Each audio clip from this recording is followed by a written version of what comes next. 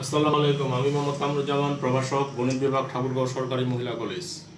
Corona ভাইরাসের কারণে distance learning ক্লাসে আজকে আমার প্রথম ক্লাস দ্বিতীয় পত্রের উপরে। দ্বিতীয় পত্রের দ্বিতীয় চ্যাপ্টার গণিত দ্বিতীয় পত্রের দ্বিতীয় চ্যাপ্টার লিনিয়ার প্রোগ্রামিং বা জগাস্ট্রি প্রোগ্রামিং মূলত লিনিয়ার প্রোগ্রামিং বলতে আমরা কি বুঝি? লিনিয়ার প্রোগ্রামিং বলতে আমরা বুঝি লিনিয়ার কথাটার অর্থ হলো রৈখিক প্রোগ্রামিং কথাটার অর্থ হলো কর্ম পরিকল্পনা তো লিনিয়ার প্রোগ্রামিং কথাটার অর্থ হলো সোজা কর্ম পরিকল্পনা সোজাভাবে কর্ম পরিকল্পনা তো এই কর্ম পরিকল্পনা আমরা কেন করব? এই কর্ম পরিকল্পনার উদ্দেশ্য কি? বা এই জগাস্ট্রি প্রোগ্রামিং আমরা কেন শিখব? এটা শিখে আমরা, আমাদের কী উপকারে লাগবে? রুশ গণিতবিদ এবং অর্থনীতিবিদ এল ভি কন্ট্রোভিস উনিশশো উনচল্লিশ সালে প্রথম এটা ধারণা দেন। একটা ম্যাথামেটিক্যাল গ্রন্থে উনি প্রথম যেটা ধারণা দেন সেটা হলো যে স্বল্প ব্যয়ে মুনাফা অর্জন করা। স্বল্প ব্যয়ে, স্বল্প শ্রমে অধিক মুনাফা অর্জন করাই হলো লিনিয়ার প্রোগ্রামিংয়ের মূল উদ্দেশ্য।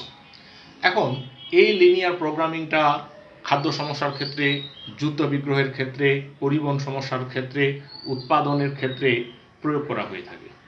তো, এই লিনিয়ার প্রোগ্রামিং সমস্যাগুলো কীভাবে গঠন করা হয়? লিনিয়ার প্রোগ্রামিং সমস্যা গঠনের প্রথম ধাপটা হচ্ছে যেটা চলক দ্বারা নির্ধারণ করতে হয়। এখানে আমরা এক্স এবং ওয়াই চলক দ্বারা নির্ধারণ করব। আর এখানে জেড নামে আরেকটা চলক আমরা পাবো, যেটাকে অভিষ্ট ফাংশন বা অবজেক্ট ফাংশন বলা হয়। মূলত এই অভিষ্ট ফাংশন বা অবজেক্ট ফাংশনটা হলো আমরা এই বিভিন্ন কর্ম পরিকল্পনার সাহায্যে যে বিন্দুগুলো বা যে পয়েন্টগুলো আমরা স্থির করে থাকি, সেগুলোর সাহায্যে সর্বোচ্চ মুনাফা কীভাবে আমরা অর্জন করব। এটাই হলো অভিষ্ট ফাংশন বা অবজেক্ট ফাংশন তো আমরা প্রথমেই চলে যাই একটা সমস্যার সাহায্যে যে এটা কীভাবে সমাধান করা হয় বা এটা সর্বোচ্চ বিন্দু কীভাবে নির্ধারণ করা হয়। সর্বোচ্চ বিন্দু নির্ধারণ করা যায়, আবার সর্বনিম্ন বিন্দু। সর্বোচ্চ বিন্দু বলতে এখানে মুনাফাকে বোঝায়। সর্বনিম্ন মুনাফা, সর্বোচ্চ মুনাফা, দুটাই আমরা নির্ণয় করতে পারব। এখন দেখি। লেখচিত্রের সাহায্যে Z object function Z is equal to three X plus four Y এর সর্বোচ্চকরণ নির্ণয়, অর্থাৎ সর্বোচ্চ মুনাফা নির্ণয় করব আমরা। এখানে কিছু কন্টেন্টস বা শর্ত বা সীমাবদ্ধতা থাকে।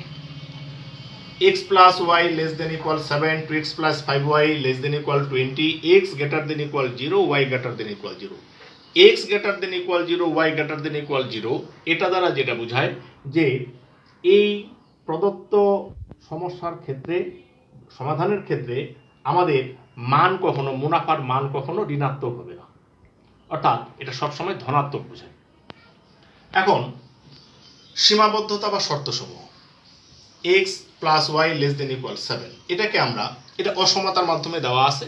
এটাকে আমরা সমতা ধরে করব। অর্থাৎ এটাকে আমরা সমাধান করব। তো সমাধান করতে গেলে এটা সমতা ধরে সমাধান করতে হবে।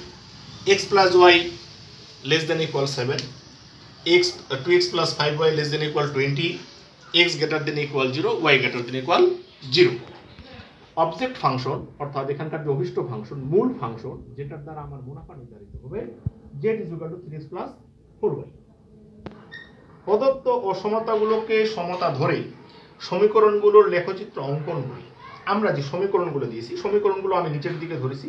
অসমতা ছিল এখানে, সমীকরণগুলো সমান চিহ্ন দিয়ে সমীকরণ ধরে নিচে আমরা সমীকরণ দিয়ে করেছি। প্রদত্ত অসমতাগুলোকে সমতা ধরে ও সমীকরণগুলোর লেখচিত্র অঙ্কন করি এবং সমাধানের অনুকূল এলাকা দিই। সমাধানের অনুকূল এলাকাটাই হবে এখানকার নির্ণেয় সম্ভাব্য মুনাফা। X plus Y equal seven এখানে ছিল লেস দেন ইকুয়াল সেভেন আমরা চলে গেলাম ইকুয়াল সেভেন সমতা ধরলাম বা এক্স বাই সেভেন আমরা যদি উভয় পক্ষকে সাত দ্বারা ভাগ করি, তাহলে X by seven plus Y by seven is equal to one X অক্ষ থেকে বা ওয়াই অক্ষ থেকে খণ্ডিত বা কর্তৃত অংশের কারণে আমাদেরকে এই এই সমীকরণে যেতে হচ্ছে।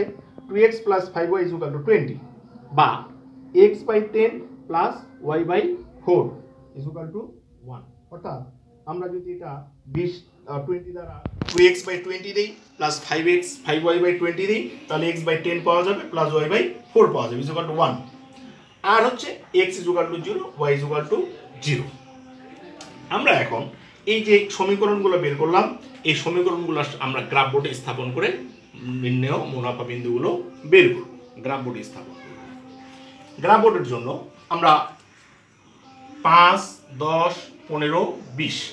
এক্স অক্ষে।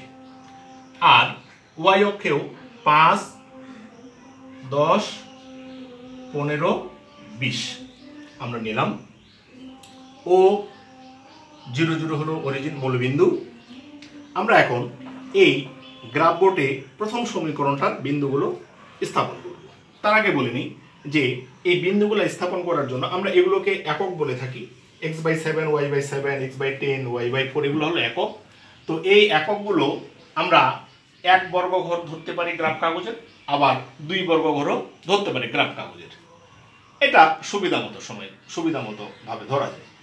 এক্স এবং ওয়াই অক্ষ বরাবর ক্ষুদ্রতম বর্গের দুই ঘর। আমি এখানে দুই ঘর ধরে নিয়েছি, সমান এক একক। এখানে একক বলতে এই যে X by seven Y by seven X by ten Y by ফোরকে বোঝানো হচ্ছে। নিচের হলো একক।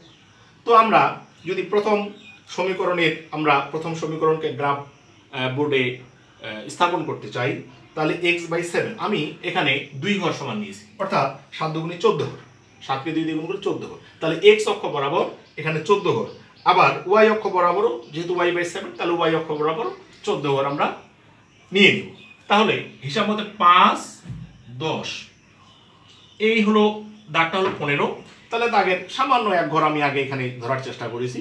তাহলে এটা হলো চোদ্দ। তাহলে সাত দুগুণে চোদ্দ ঘর চলে গেল, আর এক্স অক্ষে ওয়াই জিরো। এটা হলো এক নম্বরের গ্রাফ। ওয়াই অক্ষ বরাবর ঠিক আমরা যাব। এখানে ওয়াই অক্ষে এক্স হচ্ছে জিরো, আর সাত, অর্থাৎ উপরে উঠবে চোদ্দ ঘর। পাঁচ, দশ, এই যে পনেরো, তার একটু আগে আমরা এখানে নিয়েছি চোদ্দ ঘর। তাহলে এটা হলো এক নম্বর সমীকরণ। অনুরূপভাবে আমরা দুই নম্বর সমীকরণে চলে যাব। দুই নম্বর সমীকরণ হচ্ছে এক্স বাই টেন অর্থাৎ এক্স অক্ষ বরাবর যাবে দশ দুগুণে বিশ ঘর। তাহলে পাঁচ, দশ, পনেরো, বিশ ঘর। এক্স অক্ষ বরাবর বিশ ঘর চলে এবার ওয়াই অক্ষ বরাবর যাবে চার দুগুণে আট ঘর। তাহলে পাঁচ, দশ, দশের বেশ একটু আগে আমরা এখানে আট ঘর স্থাপন করে নিচ্ছি এটা হলো জিরো ফোর যেহেতু ওয়াই অক্ষে এক্স জিরো জিরো ফোর আমরা নিয়ে নিলাম। আর আরেকটা হলো এক্স ইজুগাল জিরো অর্থাৎ এক্স এই পাশে পজিটিভ জিরো আর ওয়াই ইজুগাল টু জিরো ওয়াইটা আমরা পাশে নিয়েছি পজিটিভ জিরো। লেখচিত্র হতে দেখা যায় এক এবং দুই নং এর সকল বিন্দু এবং তাদের যেই পাশে মূল বিন্দু সে পাশের সকল বিন্দুর জন্য অসমতাগুলো শর্ত। অর্থাৎ আমরা যদি প্রদত্ত বিন্দুগুলোকে আমরা পয়েন্টে বসাই তাহলে মানটা সমান হয়ে যায়। সমান হয়ে যায় মানে সেটাকে আমরা সিদ্ধ হওয়া বুঝি বা সিদ্ধ বলে থাকি। এবং ও এ ইডি চতুর্ভুজ দ্বারা সীমাবদ্ধ ছায়াগ্রা অঞ্চল। ও এ বিডি বলতে আমার এখানে মূল বিন্দুর কাছাকাছি বিন্দুগুলো। আমি এই যে তীর চিহ্ন দিয়েছি, এই তীর চিহ্ন দেওয়ার মূল কারণ হলো তীর চিহ্নটা কোন দিকে হবে? মূল বিন্দুর দিকে হবে না মূল বিন্দুর বাইরের দিকে হবে? তীর চিহ্নটা মূল বিন্দুর দিকে হওয়ার কারণ হলো যদি আমরা অসমতাগুলোতে লেস দেন চিহ্ন পেয়ে থাকি, তাহলে মূল বিন্দুর দিকে। আমি আবারও বলছি, অসমতাগুলোতে যদি লেস দেন চিহ্ন থাকে, তাহলে এই তীর চিহ্নগুলো হবে মূল বিন্দুর দিকে। আর অসমতাগুলোতে অসম অসমতাগুলোতে যদি গ্রেটার দেন ইকুয়াল থাকে, তাহলে এই তীর চিহ্নগুলো হবে মূলবিন্দু যেদিকে আছে তার বিপরীত দিকে। অর্থাৎ তীর চিহ্ন বলতে এখানে যে বোঝাচ্ছে, অর্থাৎ ছায়াগ্রা সায়াগারা অঞ্চলটা হবে যদি লেস দেন ইকুয়াল হয়। যদি লেস দেন ইকুয়াল হয়, তাহলে সায়াগারা অঞ্চলটা হবে মূল বিন্দুর কাছাকাছি। আর যদি গ্রেটার দেন ইকুয়াল হয়, তাহলে সায়াগারা অঞ্চলটা হবে মূল বিন্দুর বিপরীত দিকে। তাহলে এই শর্ত সাপেক্ষে আমাদের সায়াগারা অঞ্চল হচ্ছে এইটুকু। ছায়াগ্রা অঞ্চল হচ্ছে এইটুকু।